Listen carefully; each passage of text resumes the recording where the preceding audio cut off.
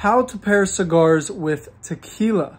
Well, if it's your first time trying to pair a cigar with tequila, it can be pretty daunting task because it's not whiskey. Everybody talks about whiskey pairings, maybe even wine pairings or coffee. Tequila, not so much. But an easy way to do your first tequila pairing is to go ahead and grab a bottle. It's easier if you have the whole Tequila de la Gente tasting kit so you can choose. But if you don't, go ahead, grab your bottle, smell it, and your memories will automatically trigger a certain cigar in your mind that you will want to try and you will want to smoke with that tequila. Our brains are fantastic things and they will help, it will help you out in deciding what to smoke with that specific tequila that you want to sip on while you're enjoying your cigar. Let me know what you're pairing it with and definitely let me know which one of these you rated the highest.